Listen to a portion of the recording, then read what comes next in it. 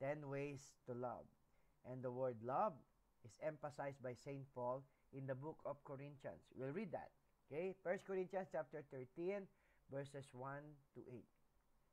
If I speak in the tongues of mortals and of angels, but do not have love, I am a noisy gong or a clanging cymbal. And if I have prophetic powers and understand all mysteries and all knowledge, and if I have all faith so as to remove mountains, but do not have love, I am nothing. If I give away all my possessions, and if I hand over my body so that I may boast, but do not have love, I gain nothing. Love is patient, love is kind. Love is not envious or boastful or arrogant or rude. It does not insist on its own way. It is not irritable or resentful. It does not rejoice in wrongdoing, but rejoices in the truth. It bears all things, believes all things, hopes all things, endures all things. Love never ends. Yan. Can I hear an amen? Amen. So we'll talk about 10 ways to love. Are you ready? 10 ways to love. Hindi naman kailangan na 10 beses mo, ano, well, I'm just giving you not steps, but 10 ways. Siguro if you can do one, that would be good. If you can do one, that would be good. Are you ready? Let's start. Okay, number one. Listen without interrupting. Oh, that's loving. You know, makinig ng hindi, hindi, hindi, ano yung tawag doon? Ano yung interrupt? Uh, yun, nakikisabat. Ayan, basta stop interrupting and start listening. We just have to listen. And if you may listen, listen to the size. Ano ba yung size? Yung buntong hininga. Ayan. Kailangan alam mo din makinig sa buntong hininga. Kailangan makinig sa mga hindi naririnig na mga salita na hindi namumutawi sa labi. Yan. Okay? So, listen without interrupting. Okay? Hindi dahil bingi ka, ha? Dapat napapakinggan mo. Number two, okay, speak without accusing. Nako, aray, may tinatamaan. Ayan, bato-bato sa langit po. Sometimes when we speak, we accuse people, eh, di ba? We tend to judge, okay? When we speak, we accuse. We, we, we, you, alam niyo naman ibig ko sabihin, ha? Di ba? Do you speak with accusing?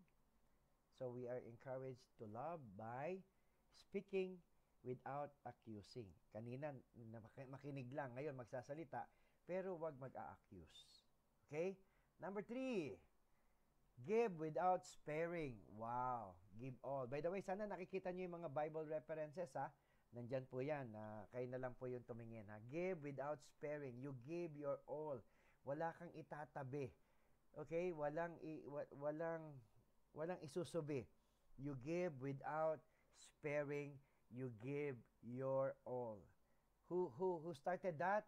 Jesus started that when he gives when he gave his all for you, for us. 'Di ba? So, for us to love, we also give without sparing.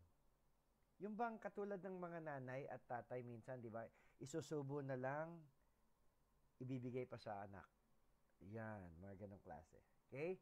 Number four, pray without ceasing. Ayan. Okay, walang walang walang walang kapaguran at walang pagtigil na pananalangin. Yan po yung kailangan nating ginagawa. Manalangin at mananalangin. Pray without ceasing. Okay? Sa bawat sandali po ng ating buhay, tayo ay nananalangin dahil ang ating pong panalangin ang kumukonekta sa ating Panginoon. Siya po yung link siya po yung, yung uh, conduit natin para sa Kanya. So we pray without ceasing. That's another way to love.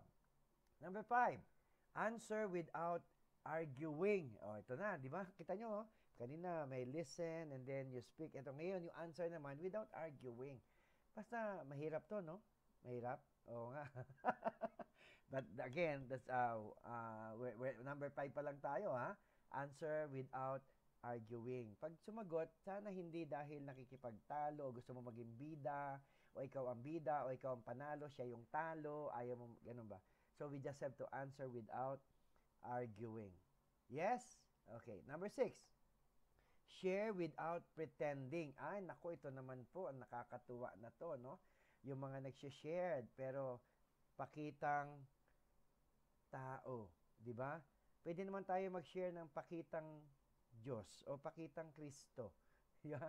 Wag naman yung mga puro ano, uh, photo op lang or press press con lang.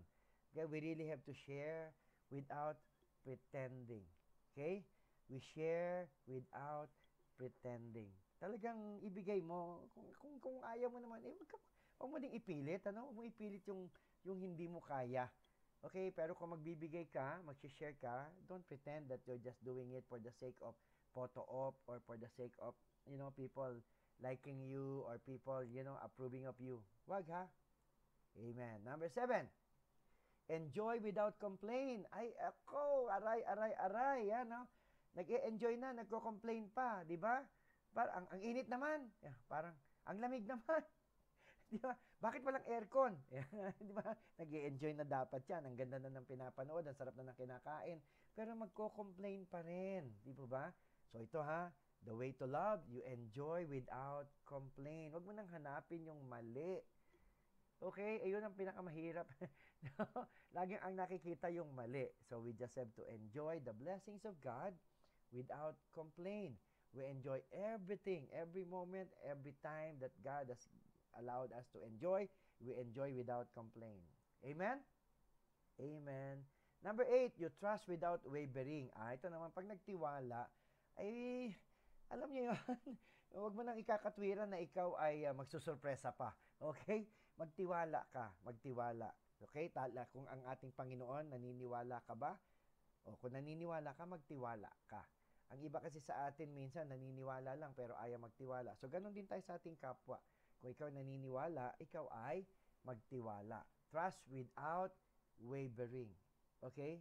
Trust without wavering. Pag alam mo mahal ka ng Diyos, mahal ka ng Diyos.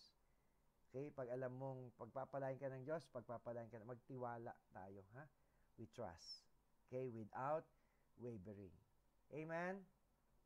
Number nine, forgive without punishing. Naku, aray, aray, aray na naman tayo niyan, ano? Di ba?